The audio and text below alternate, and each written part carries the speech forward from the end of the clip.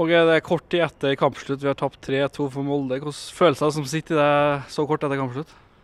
Nei, det var uff. Jeg syns synd på spillerne i dag. For de gjorde en, en veldig god jobb. og en, en god prestasjon, spesielt i andre omgang så spiller vi veldig godt. Og, og, Det er trist for dem at de uh, taper kampen på en sånn dag. altså. Si litt om prestasjonen. Altså, vi, vi, kommer under tidlig men på en personlig feil, og så bare maler vi og maler. og Får målet før pause, så andre gang så ser vi veldig veldig bra ut.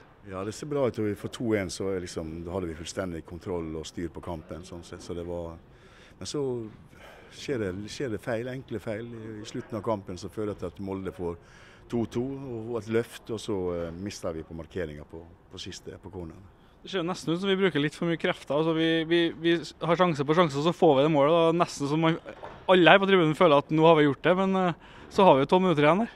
Ja, det har det. Og det, det er viktige minutter også. Men jeg tror spillerne var veldig slitne. så det, altså det blir ofte konsentrasjonssvikt på slitne spillere. og det, ja, det, det er ikke noe vi får gjort med nå, men uh, vi tar med oss prestasjoner, så bygger vi på det. og Så glemmer vi resten. og Så er vi 26 kamper igjen.